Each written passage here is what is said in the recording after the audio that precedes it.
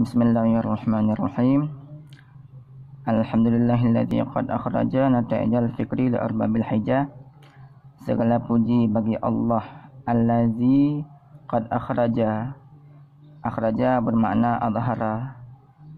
Allazi yang sungguh menampakkan ia Allah nata'ijal fikri akan hasil pemikiran arbab bermakna ashab hijah bermakna akal bagi orang yang mempunyai akal.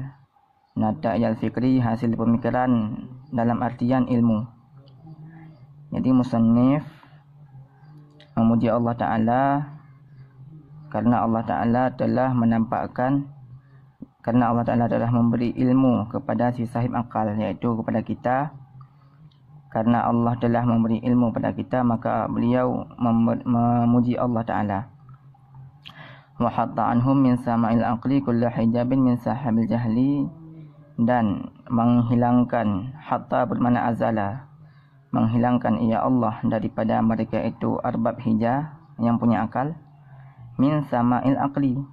Ini sudah dibalik iaitu minal aqli kasama asalnya. Daripada akal seperti langit. Apa yang Allah hilangkan? Kullu hijabin setiap hijab min sahabil jahli daripada uh, di sini juga dibalik iaitu minal jahli kasahab daripada jahil seperti awan. Hatta badat lahum syumusul ma'rifah sehingga nampak bagi mereka itu sahib akal oleh matahari ma'rifah. Ini juga sudah dibalik iaitu ma'rifah yang seperti matahari. Jadi di sini beliau menyerupakan yang pertama antara akal dengan langit iaitu sama-sama sebagai tempat akal sebagai tempat ilmu langit sebagai tempat matahari. Kemudian beliau menyerupakan jahil dengan awan. Iaitu sama-sama sebagai penghalang. Kemudian yang terakhir beliau menyerupakan makrifah atau kata lain ilmu dengan matahari. Sama-sama sesuatu yang dicari. Ra'au mukhaddaratiha mukashifah yang mana mereka melihat mereka sahib akal melihat mukhaddaratiha tutupannya makrifah mungkashifah itu terbuka jelas. Ha, jadi makrifah tersebut banyak tutupannya sehingga si sahib akal mampu melihat tutupan tersebut sudah terbuka dalam artian sudah menyelam dalam lautan makrifah. Jadi di sini terdapat tiga pentasbihan. Yang pertama yaitu ada misalnya langit. Pada langit tersebut ada matahari. Kemudian dihijab ataupun dihalangi oleh awan. Kemudian di sisi lain ada akal.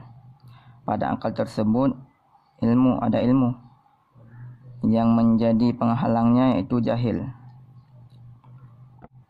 Jadi pertama tasbihnya iaitu akal akal dengan mata langit iaitu sama-sama sebagai tempat. Kemudian diserupakan ilmu dengan matahari iaitu sama-sama matlub iaitu sama-sama sesuatu yang dicari. Kemudian yang terakhir diserupakan jahil dengan awan iaitu sama-sama sebagai penghalang. Jahil menghalangi ilmu sedangkan awan menghalangi matahari dari pandangan kita. Jadi di sini diserupakan yaitu ketika Allah Taala menghilangkan jahil yang terdapat di akal, maka nampaklah makrifah ataupun ilmu. Yaitu Allah Taala menghilangkan jahil yang terdapat di akal, maka nampaklah ilmu. Di sisi yang lain yaitu Allah Taala menghilangkan uh, awan yang terdapat di langit iaitu Allah Taala menghilangkan awan di langit sehingga nampaklah syumus iaitu matahari. Wallahu alam